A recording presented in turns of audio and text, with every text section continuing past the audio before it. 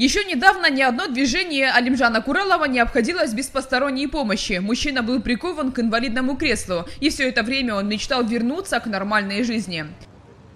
Мне очень за это сердце болит, потому что мы сидим в своих квартирах, как бы это, а видим все по телефону, что люди как радуются, это, ходят с детьми. Выйти, поехать элементарно, транспорта нету. Инватакси звонишь, мы деньги не берем, по заявкам работаем. Все, их не ответ. Вот, пиши заявку. Алимжан решил кардинально поменять ситуацию, создать доступное такси для людей с ограниченными возможностями. Продал свою легковушку, супруга взяла кредит, но денег все равно не хватило. Мужчина попытался выиграть грант на развитие бизнеса, но ему отказали. Отказались помочь и в местном Акимате.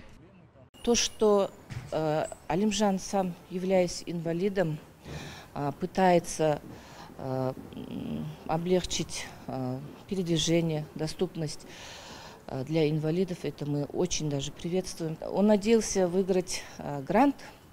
К сожалению, с местного бюджета на то, что на его нужды мы не можем выделить.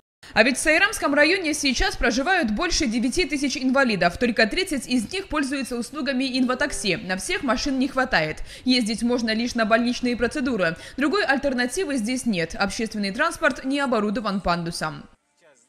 Видите, как здесь расположено сиденье. Соответственно, ремней безопасности тоже нету.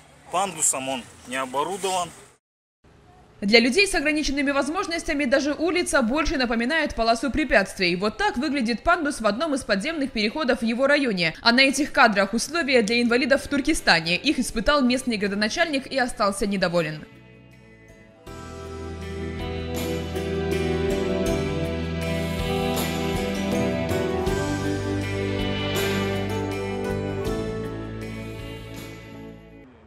Алимжан Куралов планировал, что его спецтранспорт будет доставлять инвалидов даже на прогулку. Мужчина уверен, тяжелая болезнь может отступить, если пациенту хоть иногда давать возможность забыть, что он болен. Предоставлять машину он хотел за символические деньги, но пока она готова лишь наполовину. Нет средств, чтобы купить пандус и подъемник.